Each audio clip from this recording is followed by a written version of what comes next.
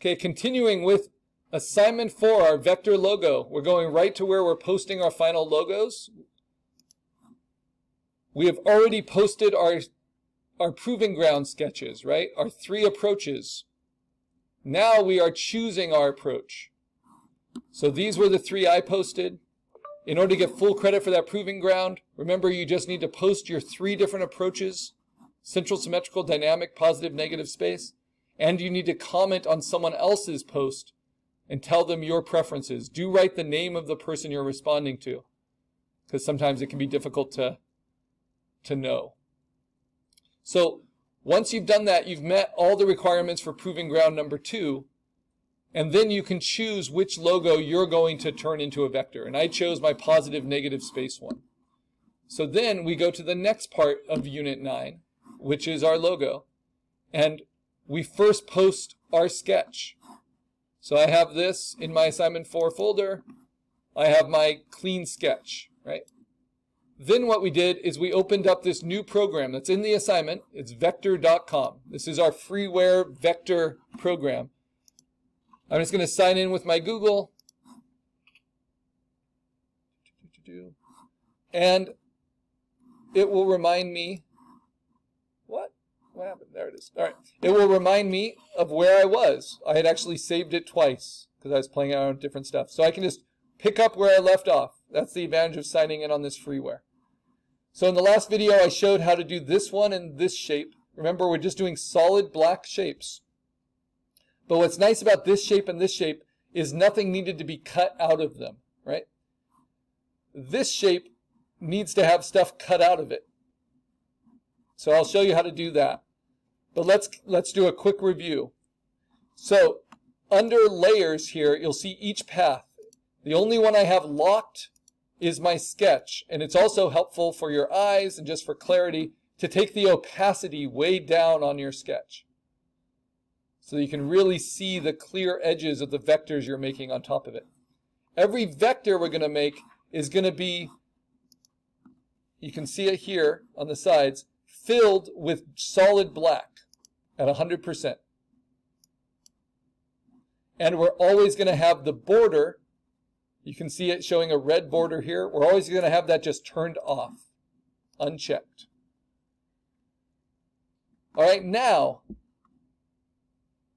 once you have a path, you can copy and paste it. So I can say Command C, Command V, and it'll make a new path. It's like duplicate. And then I can stretch it, just like with transform, and rotate it. So a lot of vectors will use the same shapes over and over again in different ways. And in some ways, that can be a better type of design than just matching your refined sketch. So for instance, I might want to do that instead of matching my sketch exactly. It's an option? Which was just duplicating that and then stretching it out. So once you plot the points, which you can always double click to see more, more clearly, then you can always utilize them. And you can always just turn them off if you're not sure if you want to use them. But let, let me remind you how to draw, right? We're going to use the pen tool.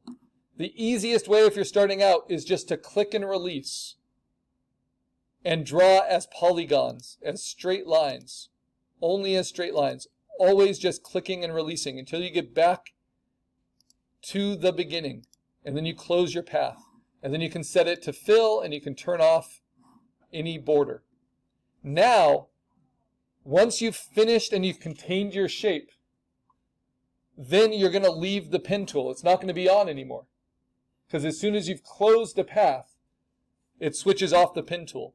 Then you can double click on it and you'll see your individual anchor points. And I'm using Command plus to zoom in. I'm using spacebar to move.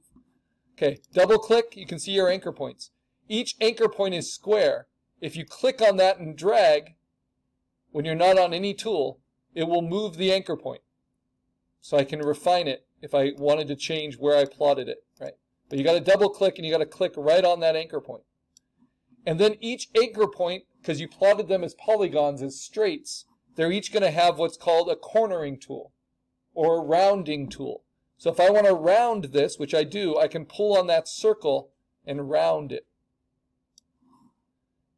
within limitations because it's only going to be able to round within the parameters of the space it's given. Right? So what if I don't want to use the rounding tool? What if I want to set the curves myself? This is new. Double click, see your anchors, and then click on your anchor. Double click on just the anchor, and you'll get these handles. If I hold nothing down and use the handles, notice that I can stretch them, I can move them, but they're going to move equally on both sides, just like the rounding tool. But if I hold down Command while I'm using these handles, I can change the angle of them. And as soon as I let go, they'll be even again. That's to try to give you even curves. So how do I do that? I double click on the anchor and I get the curves. So between all those tools, you can get any two-dimensional shape you want, as refined as you want. If you click right on the anchor and hit delete, you will delete the anchor. If you want to add a new one, you just click on the path and you can add a new anchor.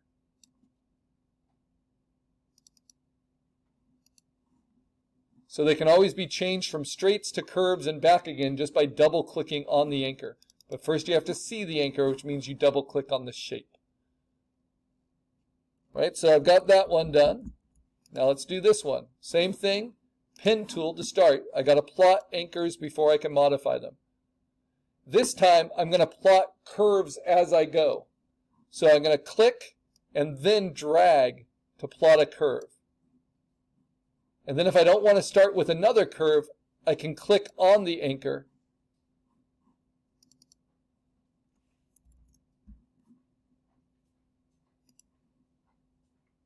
and then go to a straight, like here, and then end on a straight. Then I set my parameters, I fill it with black, I turn off the border, and I double click inside, and if I want to round any of these, I can.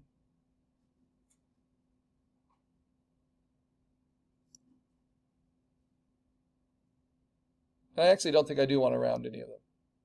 So to undo your rounding, you just pull it all the way to the anchor. All right, now for the complicated shapes. I'm going to start with just the big one right here. Just this whole thing. Sometimes you can build it with your shape tools. You know, you have a lot of shape tools here. You're welcome to use any of them. But we're going to turn them into just black and white shapes. So I could just use my circle tool, my ellipse tool, and draw that to get me started. Even though perfect circles are usually reserved for um, central symmetrical logos, this could be a nice way to plot just a really clean curve there. Okay, now though, I want to add this little bit to it. So I'm going to use my pen tool. I'm going to start inside or maybe right on the edge of my circle. And then I'm going to use my polygons, right? My straight lines and go back like this and then contain the shape. Then I'm going to fill that with black and no border. Now I can double click on it and get my anchor points and then I can round it out. So it looks like it's just coming right off of the circle. The difference is, I have to turn this into curves kind of figure out how to round that so it's nice and smooth.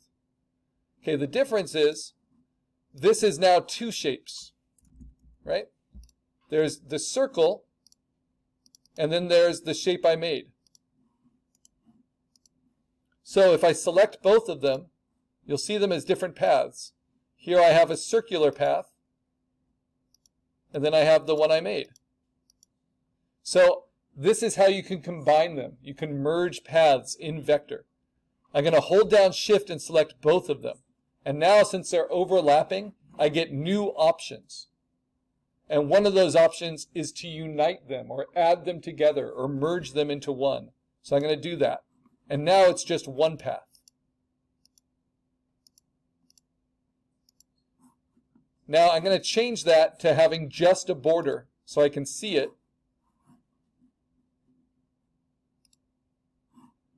And now I'm going to alter this path because I need to hook it in there.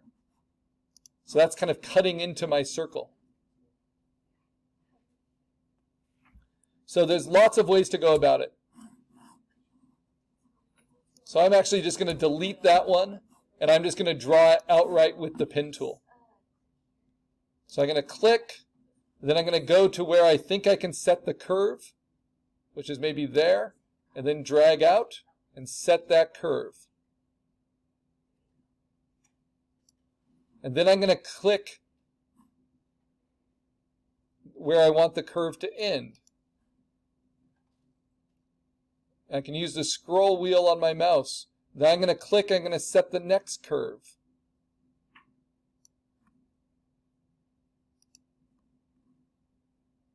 And then I'm going to click where I want it to end.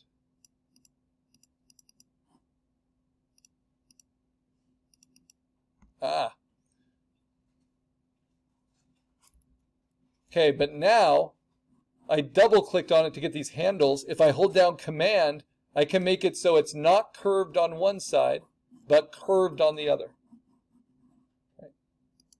Now I'm going to click on this one. I'm going to move this handle in by holding down command. So it's a straight. And now I'm going to click and drag and set that curve. It's all very subtle. And then I'll set the curve here.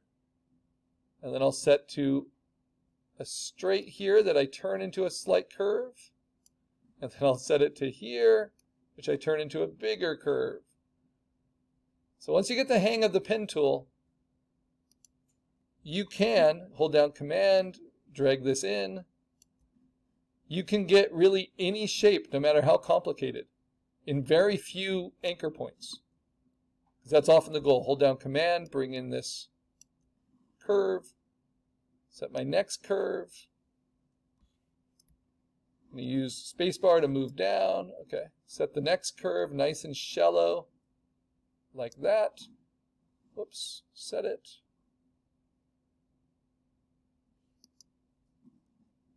Now click,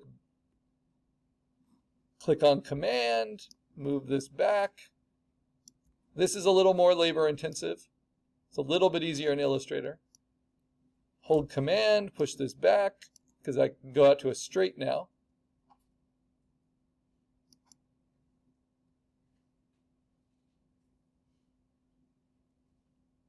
Just plot some straights, then plot a curve.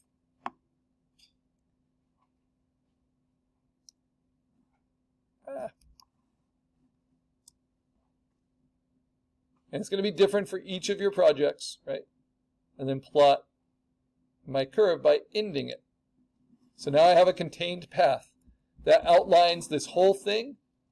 I just did it with the pen tool one time through, just modifying my anchor points as I go. I'm going to fill it with black.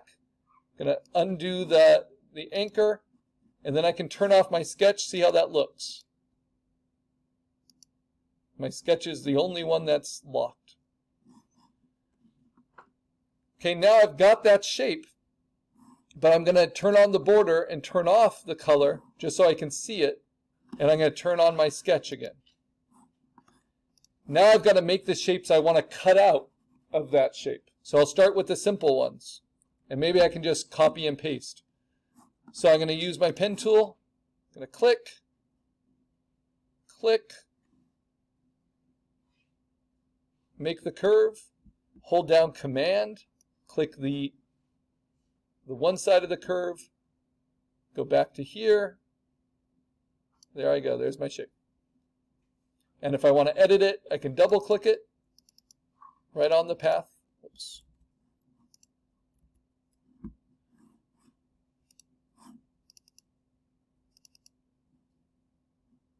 And I can set a curve if I want.